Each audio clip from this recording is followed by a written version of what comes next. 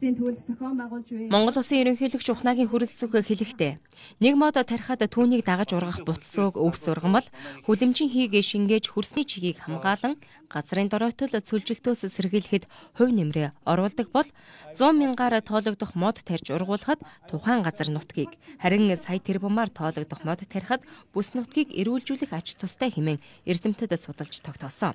Монгол улс цөлжилттэй тэмцэх ой усны нөөцийг нэмэгдүүлэх хамгийн үр дүнтэй аргыг мод тарьж ургуулах хэмээн үзэж мод тарих үндэсний хөдөлгөөнийг өрнүүлсэн. Мод тарих хөдөлгөөнд манай иргэд санаачлагтай хандж байгаад талархалтай хандж байна хэмээсэн юм а.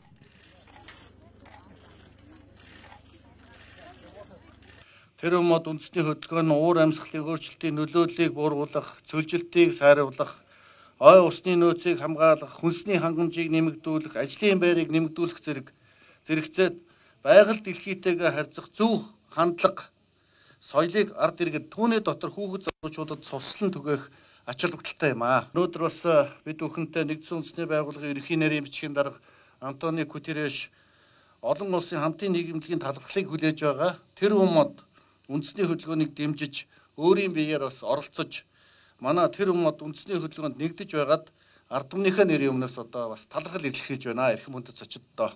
Би юун түрүүнд энд байгаа инхийг сахиулагч эрэгтэйчүүд, эмэгтэйчүүд та бүгдэд хүндэтгэл үзүүлэхийг хүсэж байна. Дэлхийн хамгийн халуун цэгүүдэд хамгийн хүнд хэцүү байдалд байгаа улс орнуудад Монголын цэрэг эрс инхийг сахиулах үйл ажиллагаанд оролцож тэнд байгаа энгийн иргэд, эмэгтэйчүүд, хүүхэд эмзэг бүлийн хүмүүст бүх хийл талын дэмжлэг туслалцаа үзүүлж ирсэн та бүхний үйл хэргийг өндрөөр үнэлж байна мөн энд хуран цугалсан хүүхэд залуучуудад баярлаж байна. Танаа ерөнхийлөгч надад хэлсэн. Байгаль орчноо хамгаалах нөхөн сэргээх үйл ажиллагаанд залуу үе тун идэвхтэй оролцдгийг надад дуулгасан. Та бүхний энэ гигэн ариун үйлсэд баярлалаа.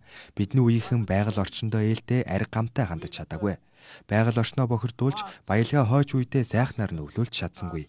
Алдааныхаа үр дагаврыг одоо амсгааж байна.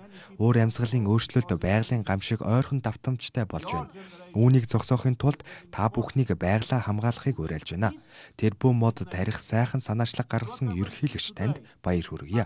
Мод тарих хөдөлгөөнд хөв нэмрээ оруулах боломж олгож байгаад баярлалаа.